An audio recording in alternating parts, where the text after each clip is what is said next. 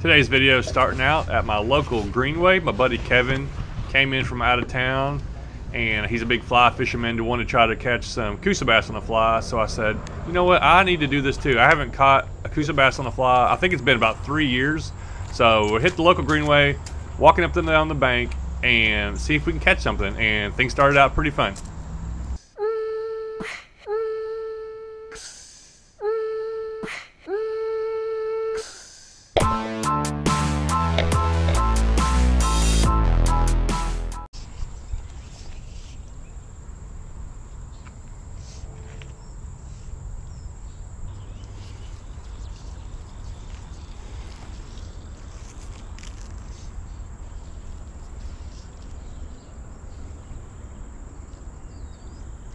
Yeah, yes. That was cool. Oh, watch that one come up and hit it. Threw it down there, gave it a little twitch. Oh, don't get away. Come on. First Coosa bass on the fly rod. Pretty little guy. Little white popper.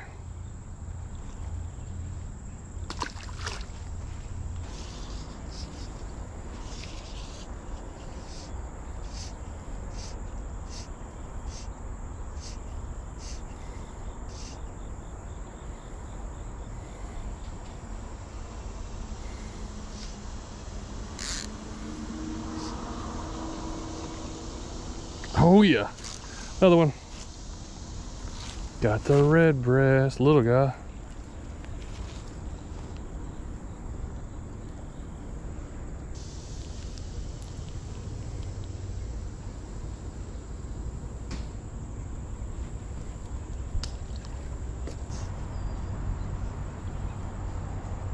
Oh, come on, come on, come on. Come on, eat it. He's coming. Big sunfish. Just go up there and eat it. Oh. He went away.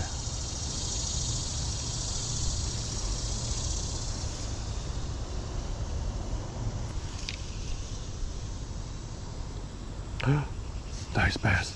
Come on. Come on. Get it. Get it. Get it. Get it. Come on. Yes. Yeah. Good one. We got one.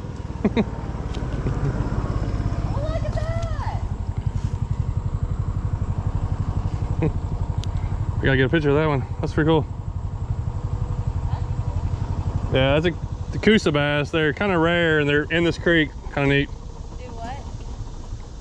Uh, it's a it's a Coosa bass, a certain type, and uh, this is one of the few streams in Tennessee that they live in. So it's kind of cool to catch them. They say that small? Yeah, that's a basically a full grown one, Wow. but there's a lot of them in there. That's why they don't get targeted too much because they don't get real big, but it's neat that there's something different. So, That's cool.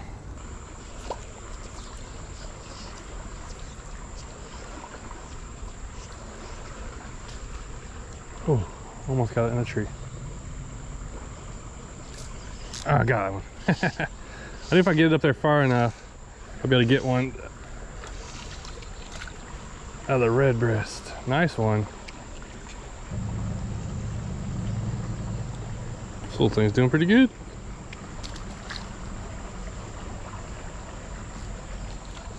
Oh, I just saw something hit another bug. Something else fell in up there. see if we can get it back up in there.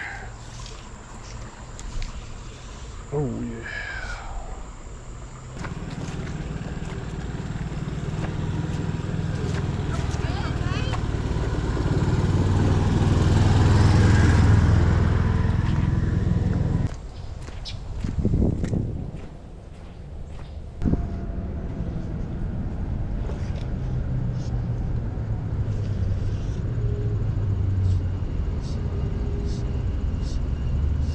Yeah. I knew there'd be one on that something on that bank over there. Red breast. Ooh, ate that little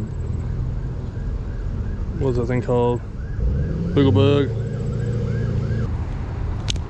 Alright. Get another cast up here in that, just on the, in the shade almost. Oh, I got one looking at it. Come on, come on. Come on. And he's coming, he's coming, he's coming in hot. Coming in. Oh! It a, I think it was another red breast.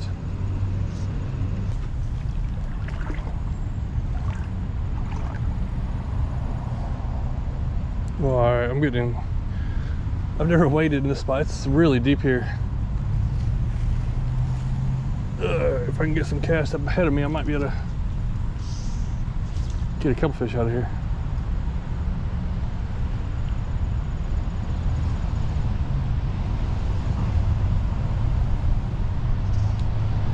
Oh, I had a fish looking at it. Didn't realize. Oh, now I'm in the tree.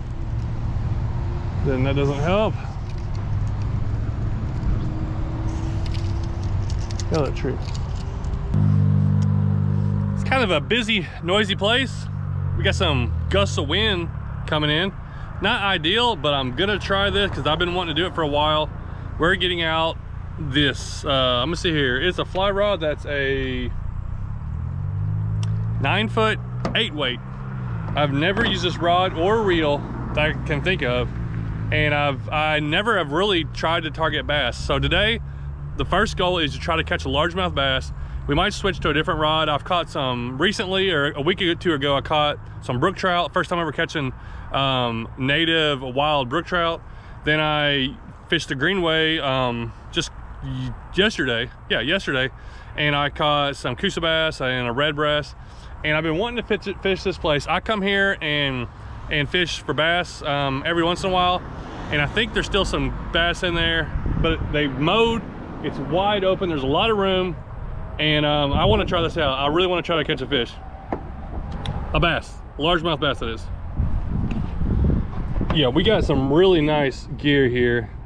And I'm gonna try to take it, uh, be gentle with it, but use it for what it's used for. And this is more of a bass setup. Let's see here. We have several different things. I think we're going to start with just the old boogle bug. I was using a small one of those yesterday and um i like that. So let's put this on. Let's get out there and start casting. Oh man this is nice. This is gonna be fun. Hopefully the wind doesn't blow around too much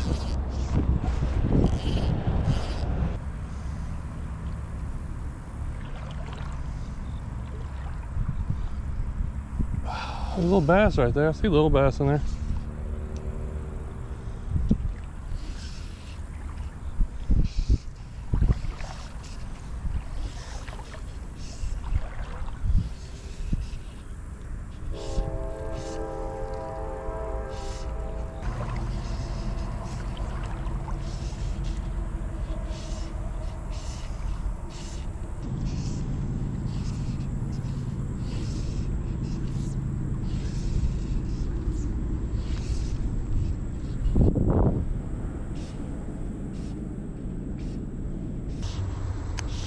Well, I thought I would have got a bite by now. I know I'm getting a little closer than I usually do for these casts. I'm trying to make longer casts, but I'm still closer than I would if I was using my spinning stuff.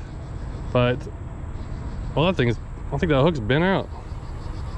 Anyhow, let's put something else in there that's gonna maybe sink. Oh, we got some interesting looking stuff. Got a little crawdad looking thing. Got some hellgrammite stuff. Bait fish. Let's go this little crawl, crawdad. Oh yeah, it sinks nice. That's gonna, that right there might actually get some of them sunfish too.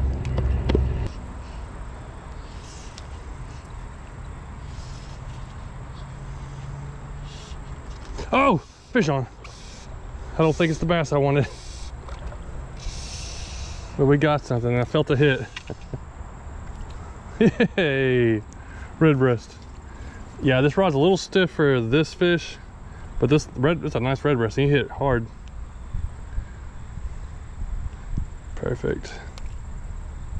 It's a fat little guy too. All right, well, I've caught red breast. I'm trying to catch something different. I need a largemouth. I don't know if I've ever caught a largemouth on a fly or on a fly rod. Come on, largies, they're in here.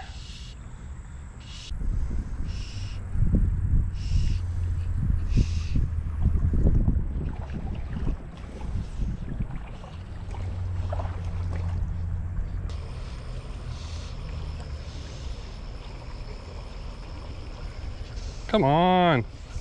There's a little fish in here.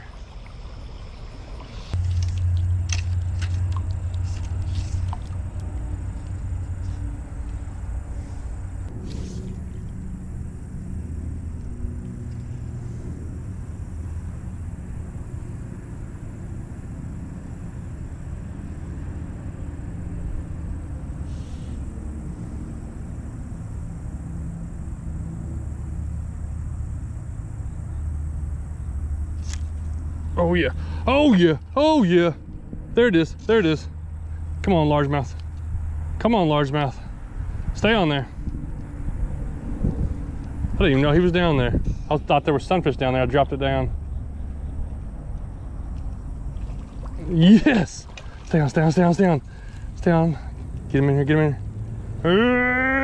Yeah, boy. Yeah. Ah.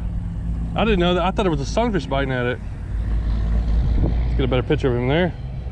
Got the little, I don't know, is that a clouser? I, I, that's what comes to my name, to my mind. I don't know if that's it or not. Thank you. That's what we needed. This little deep section, and I was just dropping my lure. I stood here for a little bit, just dropping my little crawl down there because I saw some sunfish follow, and I, and I saw my line moving. And I thought it was a sunfish on it.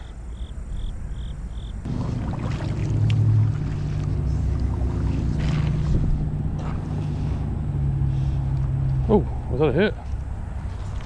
Wind, calm down, wind. Calm down for just a little bit. Oh, that's a hit. That's a fish. What is that? We got something. Another, oh, it's a blue. Wait, what is that? Hold on. Let's take a better look.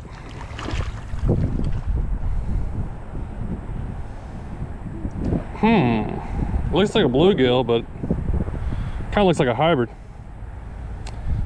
Definitely a bluegill, something bluegill. feel like it might be mixed with something. That's cool. When those guys hit though, man, those guys are hitting good. Whenever they uh, commit to it, I've seen a bunch of little nibbles, but when they grab it, it's pretty good little tug.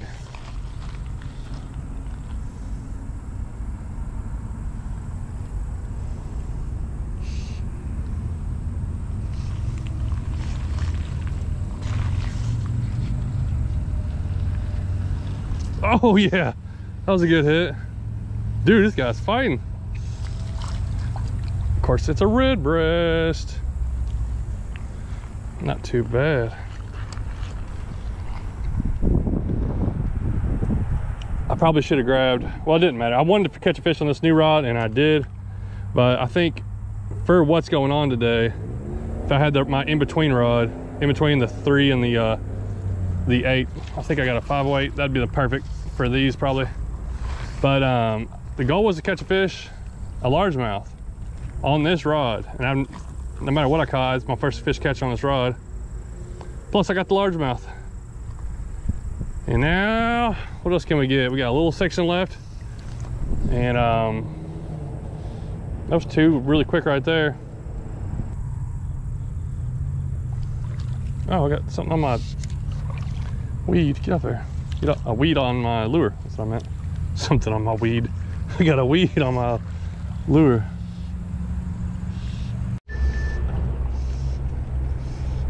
There's another little green sunfish.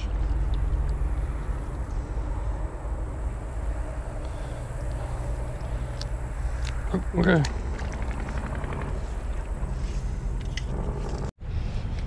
Oh, my camera's messing up on me, so I gotta, oh, flicked it right in my face. Gotta turn it on when I catch a fish. Those are a third green sunfish. I just tossed it right over this little thing here and he was on. See if there's anything else in there. That's a little deep stretch. I fish, I like to go downstream from here, but I don't really think I can cast very well. And this is gonna be the end. We're gonna get a couple more casts in. And um, a pretty good first day on this really nice fly rod and reel setup. All right, we gotta try to get a cast in down here. There could be something around the edge of this And I might have just enough room to cast. I can get it in right below that tree right there. There might be something sitting right there. Oh, we got it in. Do we have nothing? Oh, whoa, whoa. Oh, I see a fish. Ah, this is when I get aggravated with this fly stick because I know I can hit exactly the spot I need to hit within an, an inch of where I want to hit with my spinning rod and maybe my casting rod, eh, like a bait caster. But with this fly, you got to factor in all these things. Ooh, and I actually got close. Man, we didn't get anything. Oh, I see something. I see a couple fish over there. Oh, I got a leaf. And then you get a leaf on your lure when you do make a good cast. Why? Why do I do this? It's a new challenge. Do I love it? No, not more than like other ways. But I mean, I do like the challenge and I do like mixing things up. And some people get so bored of like conventional fishing, that's all they do. And then some people just like the extra little challenge of this. And whenever, ooh, oh, whenever you do catch a fish on it, it's kind of cool.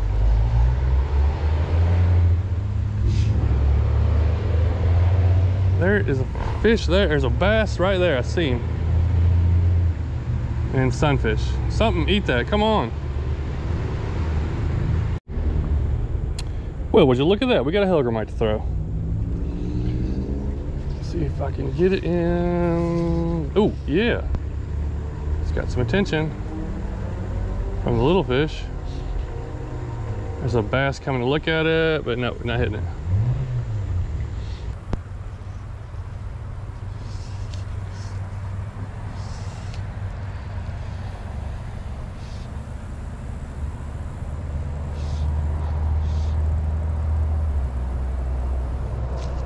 Got it, got it.